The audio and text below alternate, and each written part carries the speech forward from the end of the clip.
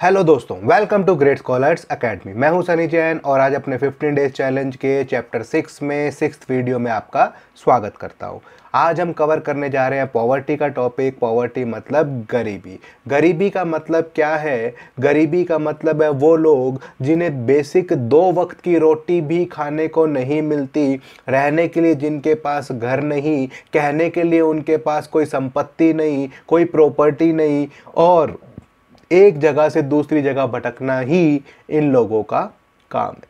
तो poverty basically हमारे देश की सबसे बड़ी समस्या है, सबसे बड़ा मोटो है और इवन इलेक्शन के अंदर जब आपके चुनाव हो रहे होते हैं तो ये सबसे ज़्यादा मुद्दा वहीं पर दिखाई देता है। यानी इलेक्शन में तो आपको सबसे ज़्यादा पॉवर्टी दिखाई देती है देश में, उसके बाद दिखाई नहीं देती। तो आज हम पढ़ते हैं पॉवर्टी बेसिकली है क्या? सबसे पहले पॉवर्टी में हम इस टॉपिक में क्या कवर करने वाले हैं? सबसे पहले हम पढ़ेंगे व्हाट इज़ पावर्टी पावर्टी का मतलब क्या है? गरीबी का मतलब क्या है? और हु आर द पुअर और कौन गरीब होते हैं? कौन से लोगों को हम गरीब कहते हैं? व्हाट इज़ पावर्टी लाइन गरीबी रेखा कौन सी होती है? Trends of poverty in India देश के अंदर किस तरीके का ट्रेंड चल रहा है? यानी कि लोग ज़्यादा गरीब होते जा रहे हैं या ज़्यादा गरीबी रेखा से नीचे कम होते जा रहे हैं या गरीबी रेखा के ऊपर आते जा रहे हैं, वो हम सब पढ़ेंगे। उसके बाद हम कारण पढ़ने वाले हैं कि गरीबी के क्या क्या कारण क्या क्या रीज़न है, जिसकी वजह से हमारे देश में गरीबी जी समस्या जो है, वो ख़त्म होकर नहीं दे रही। तो ये है आपका कॉजेज ऑफ़ पॉवर्टी और हमने क्या क्या कदम उठाए मेजर टू रिमूव पॉवर्टी हमने क्या क्या तरीके यूज़ किए कि हम अपने देश से इस गरीबी को ख़त्म कर सके और क्या हम कामयाब हुए? और साथ साथ गवर्नमेंट ने कौन कौन से तरीके फॉलो किए जिससे ये गरीबी हट सके? तो ये सारे के सारे टॉपिक हम इस पॉवर्टी के चैप्टर में हम कंप्लीट करेंगे। तो सबसे पहले हम देखते हैं व्हाट इज़ पॉवर्टी पॉवर्टी है क्या? And who are the poors और एक्चुअल में गरीब कौन होते हैं? तो basically poverty is the inability to fulfil the minimum requirements of the life अपनी ज़रूरत की बेसिक चीज़ों को पूरा ना कर पाना ही गरीबी है। अमीर इंसान तो वो है जो आधी रात को भी कोई चीज़ मांगे तो उसे मिल जाए। गरीब वो है जो दो वक्त की रोटी मांगे और और उसे वो भी ना मिले। तो द मिनिमम रिक्वायरमेंट्स क्या क्या होती है? फ़ूड फ़ूड क्लोथिंग शेल्टर, यानी कि फ़ूड क्लोथिंग रोटी, कपड़ा, मकान, और आजकल दो चीज़ें हमने और जोड़ दी that is education and health facilities यानी पढ़ाई और अच्छी इलाज भी उसके बेसिक अधिकारों का हिस्सा है। तो यानी हमारे पास पाँच चीज़ें कौन कौन सी हो गई? रोटी, कपड़ा, मकान, उसके बाद एजुकेशन यानी पढ़ाई और एक अच्छा इलाज, वो है उसकी बेसिक रिक्वायरमेंट अगर ये चीज़ें उसकी पूरी नहीं होती तो क्या होगा? वो उसे पेन होगा, उसे सफरिंग होगी, उसे टेंशन होगी और वो अच्छे से काम नहीं कर पाएगा। इससे उसकी हेल्थ और उसकी काम करने की क्षमता भी कम हो जाएगी। तो अगर हम गरीबों से काम कराने की कोशिश करेंगे तो क्या होगा? वो मन लगाकर काम नहीं कर पाएँगे, वो ढेर सारी गड़बड़े करेंगे और उससे भी उनकी एफिशिएंसी अफेक्ट होगी। तो if these minimum needs are not to be fulfilled अगर ये बेसिक चीज़ें पूरी नहीं होती man undergoes pain and suffering वो पेन और सफ़र यानी कि वो तनाव से गुजरना टेंशन से गुजरना शुरू हो जाता है, उससे उसकी हेल्थ ख़राब हो जाती है और उसकी एफिशिएंसी भी कम हो जाती है। इसके बाद हाउ पुअर्स आर आइडेंटिफाइड हम पुअर्स को, गरीबों को आइडेंटिफाई कैसे करते हैं? तो सबसे पहले हमारे पास दो तरीके हैं पुअर्स को आइडेंटिफाई करने के। सबसे पहला तरीका है रिलेटिव पॉवर्टी और दूसरा तरीका हमारे पास है एब्सोल्यूट पॉवर्टी पहला तरीका क्या है? रिलेटिव रिलेटिव पॉवर्टी को हम रिलेटिव मतलब रिलेशन एक दूसरे के रिलेशन में पढ़ेंगे. रिलेटिव मतलब रिलेशन रिलेटिव मतलब रिलेशन रिलेशन हम एक दूसरे के रिलेशन में चीज़ों को पढ़ेंगे। जैसे मैंने कहा कि अमेरिका के मुकाबले इंडिया गरीब है, अमेरिका में फैसिलिटीज़ ज़्यादा है, इंडिया में फैसिलिटीज़ कम है। अगर मैं इंडिया के अंदर अंदर की बात करूँ, बिहार में फैसिलिटीज़ कम है और सपोज़ करो पंजाब में, चंडीगढ़ में फैसिलिटीज़ ज़्यादा है तो एक दूसरे के रिलेशन में जब हम चीज़ें पढ़ते हैं दैट इज़ रिलेटिव पॉवर्टी फिर से नाम पर हिंट लगाएँगे रिलेटिव मतलब रिलेशन तो it refers to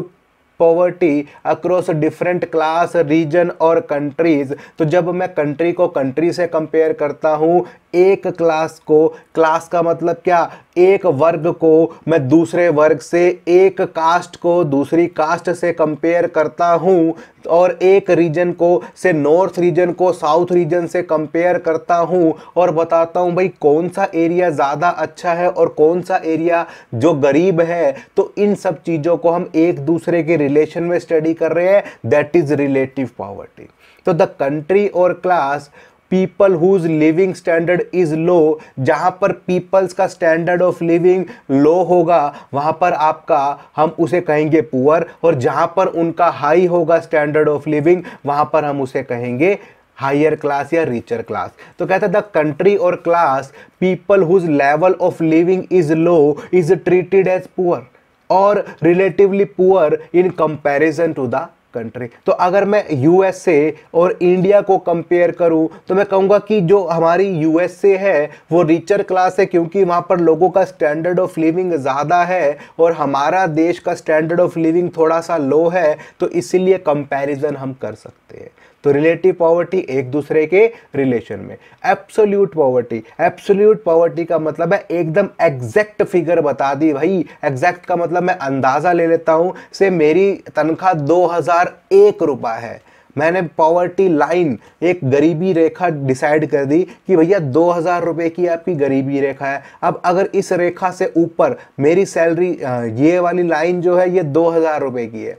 मैंने कहा कि मेरी सैलरी दो हज़ार एक रुपया भी है तो मैं नॉन पुअर मैं गरीब नहीं हूँ। और मेरी सैलरी उन्नीस सौ निन्यानवे भी है तो मैं गरीब हूँ। तो ये लाइन आपको डिवाइड कर देगी, एक एब्सोल्यूट फिगर दे देगी कि आपके पास नॉन पुअर यानी जो लोग गरीब नहीं हैं और जो लोग गरीब है, उसके बीच में से उसे डिवाइड कर देगी। तो in India the concept of poverty line is use as a measure to absolute poverty तो पॉवर्टी लाइन को हम क्या करते हैं? एक कट ऑफ़ पॉइंट मान लेते हैं। कट ऑफ़ पॉइंट किस किस के बीच का? पुअर और नॉन पुअर के बीच का। जो इस लाइन से नीचे, वो पुअर और जो इस लाइन से ऊपर, वो नॉन पुअर हमने क्या वर्ड यूज़ किया? नॉन पुअर यानी कि वो गरीब नहीं है। तो व्हाट इज़ पॉवर्टी लाइन तो it is a cut off point usually in the terms of per capita expenditure यानी वो कितना खर्चा करते हैं, हम उसी के हिसाब से हम इस लाइन को बांट देते हैं विच इज़ ए पुअर और नॉन पुअर एग्ज़ाम्पल देखो, मैंने यही लिया कि if per capita expenditure is two thousand rupees per month तो cut off point serving as monthly expenditure जिन लोगों का मंथली एक्सपेंडिचर दो हज़ार रुपए से नीचे होगा, जिन लोगों का खर्चा दो हज़ार रुपए से नीचे होगा, हम उसे क्या कहेंगे? पुअर कहेंगे ना। अगर दो हज़ार से नीचे कमा रहा है, दो हज़ार से नीचे खर्च कर रहा है तो क्या हो रहा है? पुअर है और दो हज़ार से ऊपर खर्च कर रहा है एक महीने में तो वो क्या है? नॉन पुअर तो इन्हीं को हम दो नाम और दे देते हैं। Percentage of population below poverty line जो लोग पॉवर्टी लाइन से नीचे होते हैं, उनको हम दो चीज़ें कह देते हैं H C R head count ratio यानी कि गरीबों के हेड काउंट कर लेते हैं, या पॉवर्टी इंसिडेंस रेशो तो जो लोग पॉवर्टी लाइन से नीचे हैं, जो गरीबी रेखा से नीचे यानी जो लोग गरीब हैं, उन्हें हम दो नाम और दे सकते हैं कि हेड काउंट रेशो और पॉवर्टी इंसिडेंट रेशो तो कई बार हमारे एग्ज़ाम में क्वेश्चन पूछ लेता है what is head count ratio या what is poverty incident ratio तो मुझे याद रखना पड़ता है और ज़्यादा कुछ भी नहीं।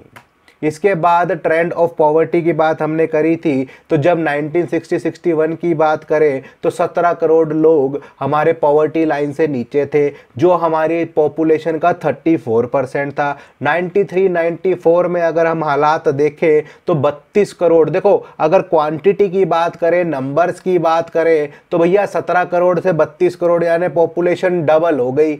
अगर गरीबों की संख्या की बात करें, लेकिन अगर हम बात ये भी करें कि पॉपुलेशन का हिस्सा देखें तो सिर्फ़ दो परसेंट पॉपुलेशन ही बढ़ी। तो कह रहा thirty six percent of the population living below poverty line लेकिन 1999 और 2000 में, देखो 1991 के बाद हमारे पास लिबरलाइजेशन पॉलिसीज़ एलपीजी पॉलिसीज़ आ चुकी थी तो थोड़ा थोड़ा हमारे रिकवर करना शुरू करा। लेकिन अभी भी हमारे पास 26 करोड़ पीपल 26 करोड़ पीपल जो थे, वो अभी भी गरीबी रेखा के नीचे थे। तो ये कह रहे twenty six percent of the population यानी कि अगर मेरे देश में सौ करोड़ की पॉपुलेशन है तो उसका 26 करोड़ पॉपुलेशन यानी वन फोर्थ हिस्सा अभी भी गरीब था। तो यही वो बात यहाँ पर कहने की कोशिश कर रहा है कि अभी भी हमारे देश में गरीबी हद से ज़्यादा थी और ये गरीबी ही हमारे बैकवर्डनेस का, हमारे देश को पीछे ढकेलने का कारण थी। तो इसके बाद क्या पढ़ा, हमने क्या ऑब्ज़र्व किया थोड़ा सा और डीपली स्टडी करेंगे। The percentage of poverty line is different in different states अलग अलग स्टेट के अंदर अलग अलग आपकी पॉवर्टी लाइन और गरीबी देखने को मिली। कुछ स्टेट्स के अंदर गरीब बहुत ज़्यादा थे और कुछ स्टेट के अंदर गरीब बहुत कम थे। तो it is report to be highest in UP Bihar Odisha Chhattisgarh Jharkhand Manipur Assam and Madhya Pradesh तो इन स्टेट के अंदर गरीबी बहुत ज़्यादा थी। बहुत ज़्यादा लोग पॉवर्टी लाइन के नीचे थे, गरीबी रेखा के नीचे थे। नियरली 29.4 परसेंट यूपी के अंदर उनतीस परसेंट बिहार के अंदर 33 परसेंट ओडिशा के अंदर 32 परसेंट के आसपास 31 परसेंट मध्य प्रदेश में। ये सारे लोग आपके पॉवर्टी लाइन से नीचे थे। तो देखो कितनी गरीबी आपके देश में देखने को मिल रही थी इन चार पाँच स्टेटों में। और उसके बाद पंजाब में देखो, पंजाब में ओनली 8.3 परसेंट पॉपुलेशन जो थी, वो पॉवर्टी लाइन से नीचे थी। तो इसीलिए पंजाब की बात करें तो वहाँ पर लोग जो थे, वो थोड़े से ज़्यादा काम कर रहे थे और बाकी इन स्टेटों के अंदर लोगों को गरीबी ज़्यादा फेस करनी पड़ रही इसके बाद क्या क्या कारण थे आपकी पॉवर्टी के, गरीबी के? सबसे पहले low level of national product या low level of national production या लो लेवल ऑफ़ जीडीपी भी हम इसे कह सकते हैं। यानी कि हमारे देश के अंदर प्रोडक्शन इतनी कम थी कि आप बेसिक लोगों को जॉब नहीं दे पा रहे थे, नौकरियाँ नहीं दे पा रहे थे। तो यानी कि फैक्ट्रियाँ होती तो एम्प्लॉयमेंट होती एम्प्लॉयमेंट होती तो नौकरियाँ होती। तो नौकरियाँ का मतलब क्या है? वो अपने बेसिक बेसिक ज़रूरतों को पूरा कर पाते। तो low level of national product का मतलब क्या हुआ? Low level of national product का सीधा सीधा मतलब हुआ कि आपके देश में फैक्ट्रियाँ नहीं थी इंडस्ट्रीज़ नहीं थी एम्प्लॉयमेंट कम थी और एम्प्लॉयमेंट कम होने के कारण ही आपके पास जीडीपी कम थी और लोगों को आप नौकरियाँ नहीं दे पा रहे थे तो गरीबी बढ़ती जा रही थी। लो रेट ऑफ़ ग्रोथ तरक्की उस तेज़ी से नहीं हो रही थी जिस तरीके से होनी चाहिए। सपोज़ करो भाई, पाँच साल पहले सौ इंडस्ट्रीज़ लगी हुई थी तो दस पाँच साल बाद भी वो बेचारी 200 250 हो जाती थी। लेकिन वो हो जानी चाहिए थी, अगर चाइना जैसी तरक्की हम करते तो वो दस गुना, बीस गुना हो जानी चाहिए थी। वो बेचारी दो गुना, तीन गुना हो पाती थी। तो ग्रोथ रेट इतना तेज़ी से नहीं बढ़ रहा था, जितना तेज़ी से हमें तरक्की करनी चाहिए थी। हम अभी भी मशीनों के बेस पर ही तरक्की कर रहे थे। एक्चुअल में एम्प्लॉयमेंट तो हम बढ़ा ही नहीं पा रहे थे। हैवी प्रेशर ऑफ़ पॉपुलेशन ये सबसे बड़ी समस्या है हमारे देश की। कैसे हैवी प्रेशर है भाई पॉपुलेशन के ऊपर? कैसे तेज़ी से बढ़ रही है पॉपुलेशन चाइना ने कम से कम 25 साल पहले वन चाइल्ड पॉलिसी निकाल दी। हमारा देश आज भी हम दो, हमारे दो को फॉलो नहीं कर रहा। तो हमारा जो पॉपुलेशन है वो इस तेज़ी से बढ़ती जा रही है, इस तेज़ी से बढ़ती जा रही है कि हम थोड़े टाइम में वर्ल्ड की नंबर वन पॉपुलेशन वाला देश बन जाएँगे और वर्ल्ड की सबसे बेकार रिसोर्सिस वाला देश होगा। पॉपुलेशन सबसे ज़्यादा होगी, लेकिन हमारे पास रिसोर्सिस सबसे कम फैसिलिटी सबसे कम होगी। क्यों? क्योंकि गरीबी भी उसी तेज़ी से बढ़ेगी भैया। तो इसीलिए पॉपुलेशन को रोकना बहुत ज़रूरी है। इन्फ्लेशनरी स्पायरल महँगाई ज़्यादा होती जा रही है। क्यों? डिमांड ज़्यादा हो रही है, सप्लाई कम हो रही है, फैक्ट्रियाँ कम है, लोगों की ज़रूरतें ज़्यादा है तो क्या हो गया? महँगाई बढ़ती जा रही है। महँगाई बढ़ती जा रही है तो गरीब और मरता जा रहा है। उसे बेसिक दो वक्त की रोटी के लिए भी पैसे नहीं मिल पा रहे। क्रोनिक अनएम्प्लॉयमेंट और अंडर एम्प्लॉयमेंट क्रोनिक का मतलब है लंबे समय से बेरोजगारी चलती आ रही है, बेचारा गरीब मरता जा रहा है, मरता जा रहा है, मरता जा रहा है, उधार ले लेता है वो कहीं से। तो उसकी बाद भी लंबे समय से वो जो अनएम्प्लॉयमेंट चलती आ रही है, हम उसे चाहकर भी दूर नहीं कर पा रहे। और अंडर एम्प्लॉयमेंट का मतलब क्या है? लोगों को फुल टाइम जॉब नहीं मिल रही, उन्हें पार्ट टाइम जॉब मिल रही है। यानी बंदा आठ घंटे काम कर सकता है, उसे दो तीन घंटे काम करवाते हैं आधी सी तनख्वाह पकड़ा देते हैं। तो ये सारी समस्या भी आपको गरीब करने के लिए ज़रूरी है। Capital deficiency. कैपिटल डेफिशिएंसी का मतलब है लोगों के पास पूंजी नहीं है। पूंजी नहीं है तो वो अपना कोई छोटा मोटा बिज़नेस नहीं खोल सकते। छोटा मोटा बिज़नेस नहीं खोल सकते तो उन्हें पैसे नहीं मिलेंगे और पैसे नहीं मिलेंगे तो सबसे बड़ी समस्या क्या? वो बेचारे गरीब रहेंगे। उसके बाद चलो मान लिया कि कैपिटल है भी, लेकिन हमारे यहाँ पर लैक ऑफ़ एबल और एफिशिएंट एंटरप्रेन्योर नहीं है। ये सबसे बड़ी बात। अभी मोदी साहब ने एक बार कहा था कि भैया ब्रेड पकोड़े लगाओ, समोसे चाय बेचो, लेकिन कुछ तो करो खुद के लिए भी। क्या हम ही सब नौकरियाँ देंगे? अरे मेरे भाई, एक बात सिंपल सी समझो ना। आज आप कभी भी एक समोसे वाले की, एक सपोज़ करो छोले कुलचे वाले की इनकम को कैलकुलेट कर लोगे तो आपका माइंड खराब हो जाएगा कि वो इतने पैसे कमा सकता है कि जितना एक बंदा जॉब करके नहीं कमा सकता। लेकिन हमें क्या लगता है? हमें लगता है कि हम जो है ना, हम जो है, वो चाय समोसे क्यों लगाए?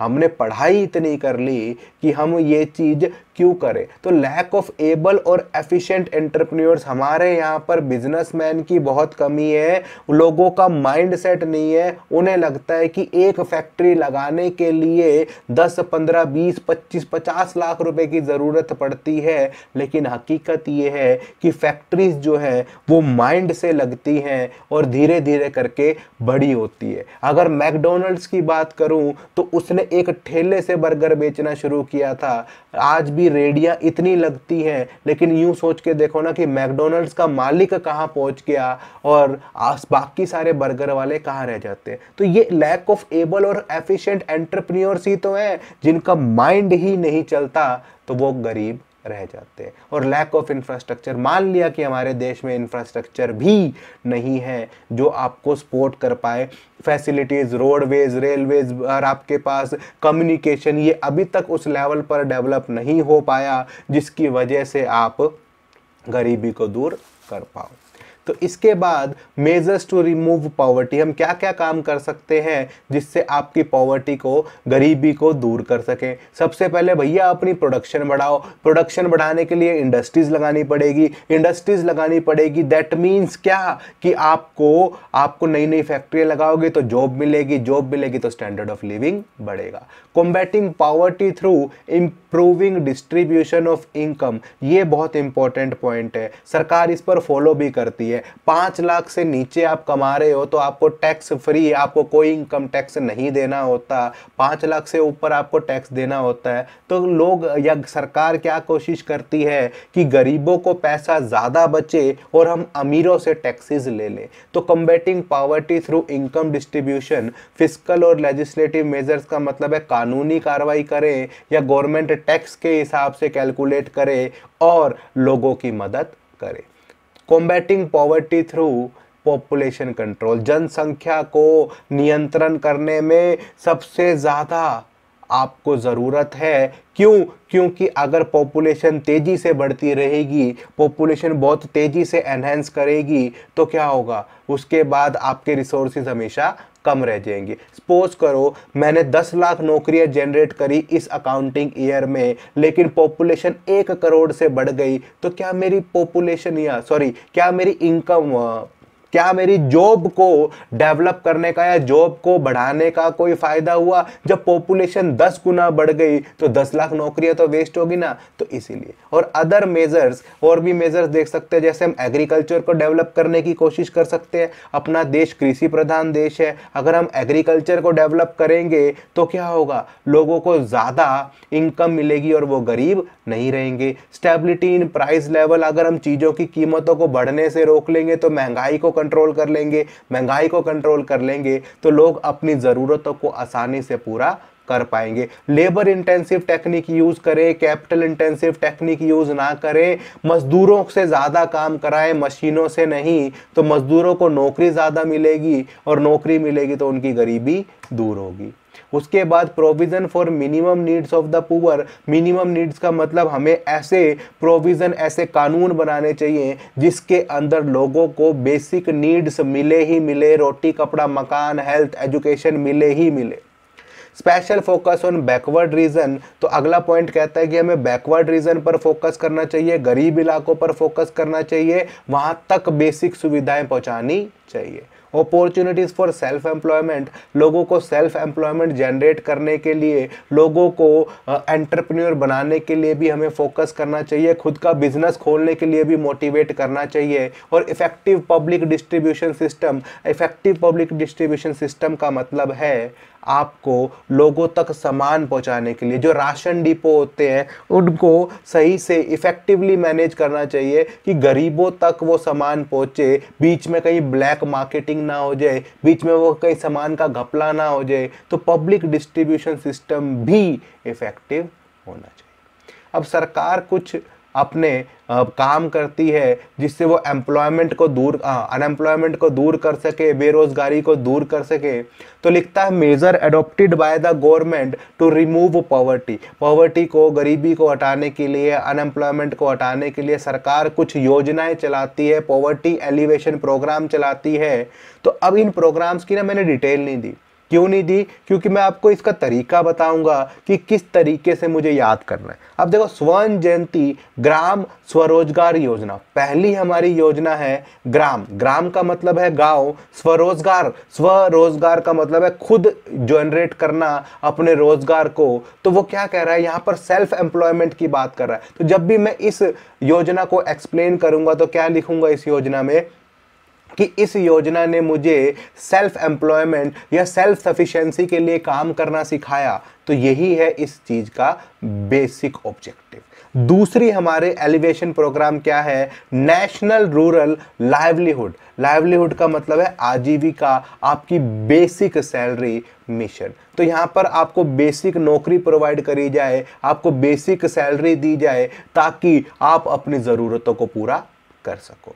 तीसरी योजना कहती है संपूर्ण संपूर्ण से हमें कुछ नहीं, संपूर्ण का मतलब है हंड्रेड परसेंट ग्रामीण मतलब गाँव में जितने भी लोग हैं, जितने भी लोग काम कर सकते हैं, उन सबको नौकरियाँ देना ही इसका ऑब्जेक्टिव है। तो नाम से ही पता लग रहा है, देखो संपूर्ण का मतलब हंड्रेड परसेंट ग्रामीण का मतलब गाँव में रोज़गार योजना, यानी रोज़गार देने की योजना। प्रधानमंत्री ग्राम उदय योजना, ग्राम उदय का मतलब गाँव को उदय करना, गाँव को डेवलप करना। गाँव डेवलप कैसे होगा भैया? रोड रेलवेज ब्रिजेस आपके पास पानी सैनिटेशन हेल्थ आपका एजुकेशन ये सारी चीज़ें उन गाँव में पहुँचा दूँगा। अपने आप ग्राम का उदय हो गया ना तो यही सारी चीज़ें मुझे यहाँ पर यहाँ रखनी है। उसके बाद स्वर्ण जयंती, शहरी शहरी का मतलब क्या? अर्बन एरियाज़ को डेवलप करने की बात कर रहा है। तो यहाँ पर ये कह रहा है कि भैया, जो लोग गाँव में रहते थे, उनको तो हमने पीछे नौकरियाँ दे दी। शहर में भी हमने रोज़गार योजना चलाई तो शहर के लोगों को भी एम्प्लॉयमेंट देने की कोशिश हमें यहाँ पर की गई। सिक्स प्रोग्राम कहता है मिनिमम नीड्स प्रोग्राम तो मिनिमम नीड्स हमने क्या पढ़ी? रोटी, कपड़ा, मकान, उसके बाद एजुकेशन और हेल्थ तो ये सारी चीज़ें उन्हें पहुँचाने की कोशिश की गई। तो ये सारी की सारी योजनाएँ गवर्नमेंट ने डेवलप की और हम, ताकि इन सब की वजह से हम गरीबी को हटा सके। तो ये सारे हिंट थे जिनकी वजह से मुझे इन योजनाओं को याद करने में हेल्प मिलेगी। ओके? आज के लिए इतना ही। और अगर आपको कोई और योजना समझनी हो तो आप हमें चैट में कमेंट कर सकते हैं। Thank you.